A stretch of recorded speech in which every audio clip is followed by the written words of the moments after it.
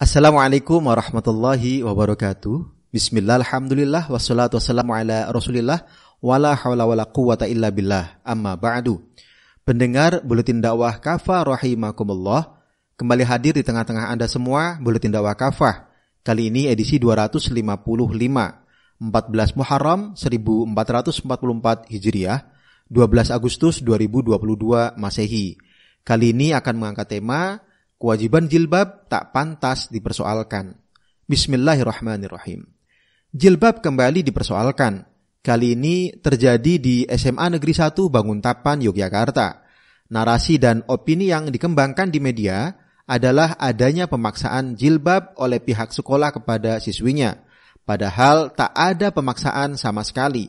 Demikian hasil klarifikasi Dinas Pendidikan, Pemuda dan Olahraga, Distikpora daerah istimewa Yogyakarta ke SMA Negeri 1 Banguntapan. Tidak ada pemaksaan dalam memakai jilbab itu. Kata Wakil Kepala Distikbora DIY, Suhirman, usai klarifikasi terhadap SMA Negeri 1 Banguntapan di kantor Distikbora DIY Senin 1 Agustus 2022. Jelas, kasus paksa jilbab di SMA Negeri Banguntapan Jogja yang sengaja diviralkan sudah tidak bisa dianggap kasus biasa ini adalah kasus yang mengkonfirmasi bahwa Islamofobia itu nyata. Di sisi lain, sekitar sebulan sebelumnya, sebagaimana diberitakan kompas.com, ada siswi SD di Gunung Sitoli, Sumatera Utara menangis karena dilarang oleh pihak sekolah memakai jilbab di sekolah. Dikutip dari kompas.com 14 Juli 2022. Terkait kasus ini, kalangan Islamofobia diam seribu bahasa. Pendengar rahimakumullah kewajiban menutup aurat. Di antara tuntunan syariah Islam adalah perintah kepada kaum muslimah untuk menutup aurat dengan kerudung yang menutup kepala dan dada mereka, serta jilbab yang menutupi seluruh tubuh mereka kecuali wajah dan kedua telapak tangan.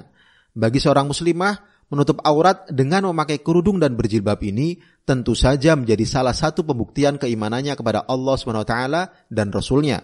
Sebabnya jelas, karena berkerudung dan berjilbab memang merupakan salah satu dari ketentuan syariah Allah SWT dan Rasulnya.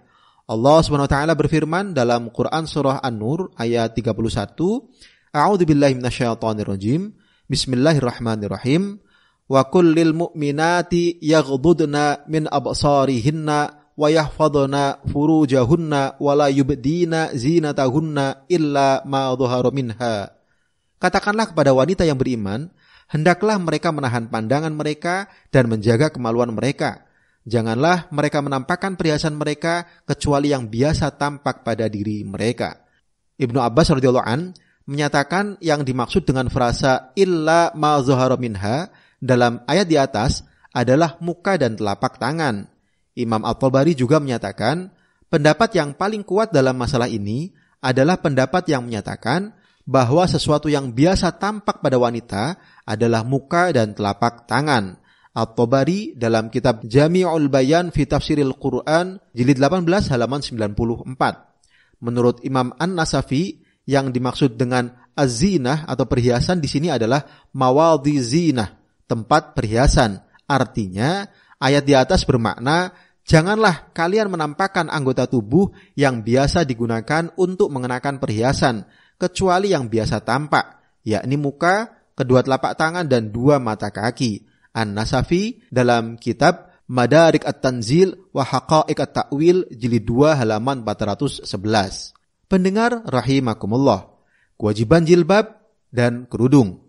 Wanita muslimah wajib berjilbab dan berkerudung manakala keluar dari rumah menuju kehidupan umum. Jilbab berbeda dengan kerudung atau khimar. Kewajiban mengenakan kerudung atau khimar didasarkan pada firman Allah SWT Quran surah An-Nur ayat 31. A'udzubillahi minasyaitonirrajim.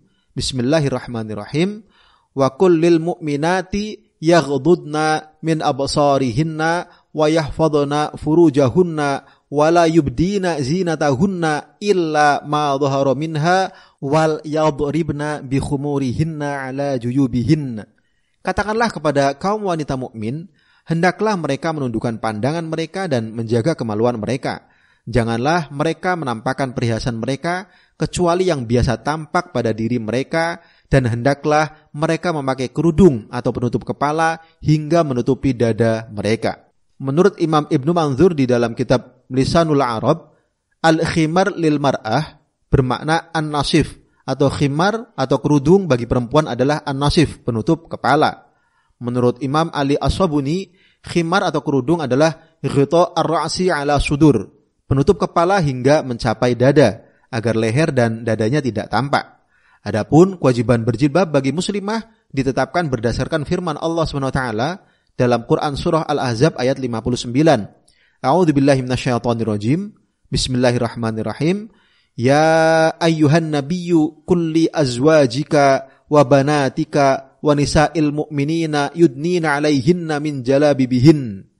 Hai Nabi, katakanlah kepada istri-istrimu, anak-anak perempuanmu dan istri-istri kaum mukmin, hendaklah mereka mengulurkan jilbab mereka ke seluruh tubuh mereka. Di dalam kamus Al-Muhid dinyatakan jilbab itu seperti sirdab atau terowongan atau sinmar, lorong, yakni baju atau pakaian longgar bagi wanita selain baju kurung atau kain apa saja yang dapat menutup pakaian kesehariannya seperti halnya baju kurung. Dalam kamus As-Sohah, Al-Jauhari mengatakan, jilbab adalah kain panjang dan longgar atau milhafah yang sering disebut dengan mula'ah baju kurung atau gamis. Kewajiban berjilbab bagi muslimah ini juga diperkuat oleh riwayat Ummu Atiyah yang berkata, pada dua hari raya kami diperintahkan untuk mengeluarkan wanita-wanita haid dan gadis-gadis pingitan untuk menghadiri jamaah kaum muslim dan doa mereka. Namun wanita-wanita haid harus menjauhi tempat sholat mereka. Seorang wanita bertanya, Wahai Rasulullah, seorang wanita di antara kami tidak memiliki jilbab. Bolehkah dia keluar? Lalu Rasul Shallallahu Alaihi Wasallam bersabda, hendaklah kawannya meminjamkan jilbabnya untuk dipakai wanita tersebut. Hadis riwayat Al-Bukhari dan Muslim. Andaikan berjilbab bagi muslimah tidak wajib, niscaya Nabi Shallallahu Alaihi Wasallam akan mengizinkan kaum muslimah keluar dari rumah mereka tanpa perlu berjilbab. Hadis ini pun menegaskan kewajiban berjilbab bagi para muslimah. Pendengar rahimakumullah, tak pantas dipersoalkan karena itu jelas, sebagai kewajiban syariah bagi muslimah, jilbab tak layak dan tak pantas dipersoalkan. Apalagi sebagai bagian dari hukum syariah. Pastinya banyak hikmah dari pengamalan kewajiban berjilbab bagi muslimah ini. Sebabnya, jelas seluruh hukum syariah pasti mendatangkan rahmat atau maslahat bagi manusia. Bisa dilihat di Quran Surah Al-Anbiya ayat 107. Karena itu, tentu kita pun meyakini bahwa perintah Allah SWT kepada para wanita untuk berbusana muslimah, memakai kerudung dan berjilbab, pasti mengandung banyak kebaikan atau manfaat sekaligus menghindari banyak keburukan atau madorot, khususnya bagi pemakainya dan umumnya bagi masyarakat. Penggunaan jilbab dalam kehidupan umum akan mendatangkan kebaikan bagi semua pihak, tidak hanya bagi kaum perempuan. Dengan tubuh yang tertutup jilbab, kehadiran wanita jelas tidak akan membangkitkan birahi lawan jenisnya. Berbeda halnya saat kaum wanita biasa terbuka auratnya. Sebabnya, naluri seksual tidak akan muncul dan menuntut pemenuhan jika tidak ada stimulus yang merangsangnya. Dengan demikian, kewajiban berjilbab telah menutup salah satu celah yang dapat mengantarkan manusia terjerumus ke dalam perzinaan atau pemerkosaan. Realitas ini membuktikan kebenaran ayat tentang kewajiban berjilbab di atas. Dzalika adna ayyurafna fala yu'zain. Yang demikian itu supaya mereka lebih mudah untuk dikenal sehingga mereka tidak diganggu.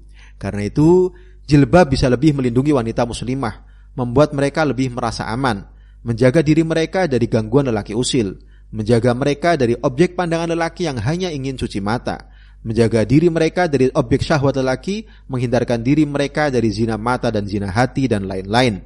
Bagi wanita, jilbab juga dapat mengangkat mereka pada derajat kemuliaan.